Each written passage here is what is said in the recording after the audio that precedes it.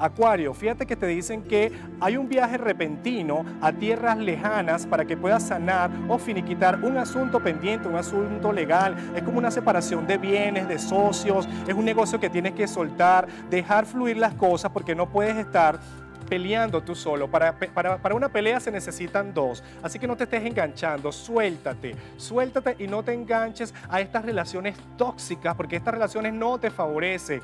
Esta relación, ¿verdad? Que tienes que soltar es algo que ya no corresponde porque te estás afectando la salud y estás somatizando situaciones inadecuadas, sobre todo con el insomnio. No estás durmiendo bien. Con la pareja sale como abrazo, terapia de abrazo, terapia de amapuches y besitos para este día. Así que sé feliz y disfruta con ese ser amado. Vamos a, conectar, a conectarnos con este toque de luz y con esta carta maravillosa.